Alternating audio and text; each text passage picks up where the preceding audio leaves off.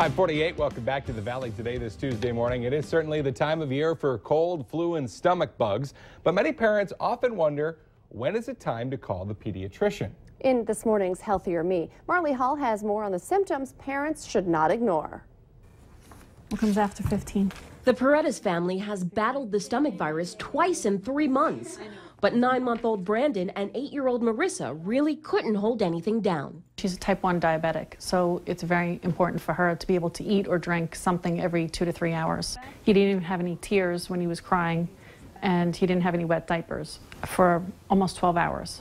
Their mother, Karen, knew it was time to call the doctor. What we worry about is dehydration.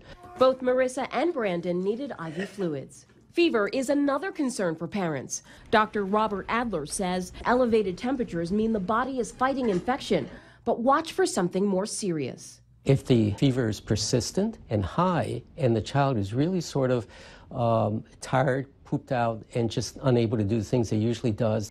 Fever with intense headache and stiff neck could be a sign of meningitis. Rashes aren't usually a concern unless it covers the entire body.